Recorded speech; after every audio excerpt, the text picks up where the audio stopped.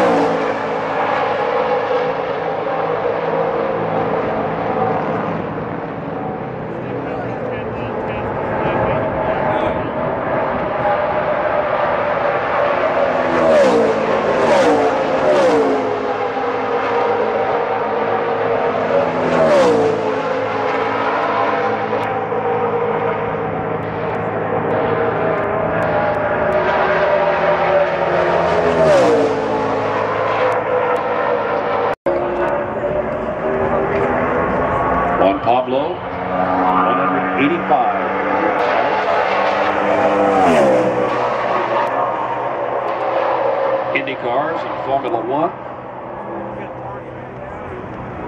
Had a top 10 last weekend at Bristol, came home eighth. His last win was two years ago, and that was on the road course at Watkins Glen.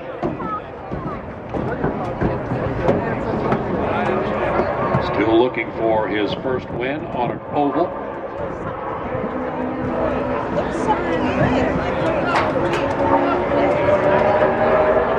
Off turn four comes Juan Pablo white flag. And he will slot in second quick. 39.439 seconds, 182.560 miles per hour. Second quick hometown. 85 wins. Third quick is the lap for uh, Jeff Gordon. 39.263 seconds, 183.379 miles per hour.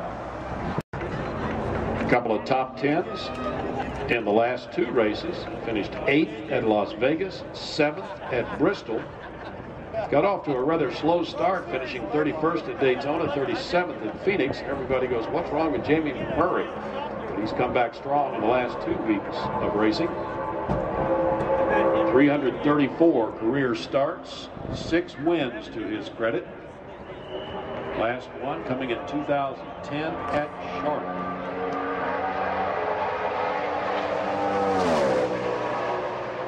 flags in the air and he is on the clock.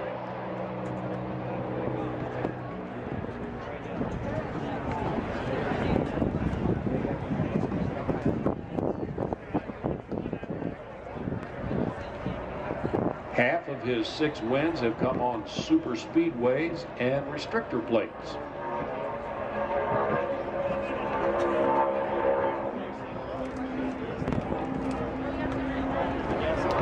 Split them up even.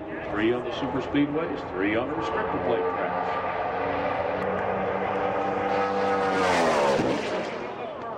He will be ninth quick. 39.116 seconds, 184.068 miles per hour. Jimmie Johnson. His 367 career starts, 55 wins, and five Sprint Cup championships for the El Cajon, California native. Five of those championships, as we said, coming in a row. This year, well, he didn't have any fun at Daytona. 42nd. Right Phoenix, Las Vegas, and Bristol. And he will slot in fifth quick with that lap, 38.8. Out of Rochester Hills, Michigan.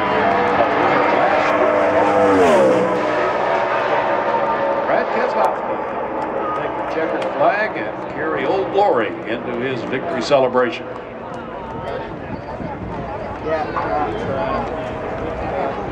Brad has 93 Cup starts, five wins to his credit. The last one, obviously, coming, as we said, last weekend at Bristol.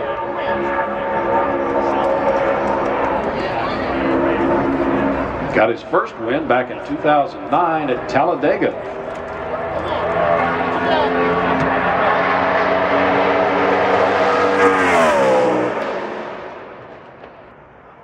And he will be 14th quick with that lap. 39.121 seconds, 184.044 miles per hour. I'm sure Brad Keselowski will be disappointed with that lap, but he will slot in 14th quick.